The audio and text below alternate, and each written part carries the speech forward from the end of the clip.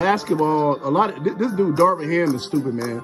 You got to get more athleticism uh, and size throwing at Ja Morant. You got Lonnie Walker on the fucking bench, and you got trash ass Malik Beasley and uh, Troy Brown. Man, you got to get Lonnie Walker in the game, bro.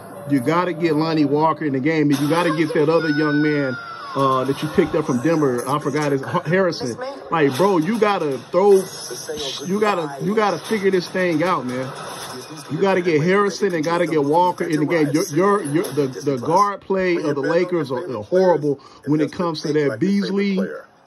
Brown, they didn't play themselves out of the rotation. You got to bring in Harrison and um, Walker.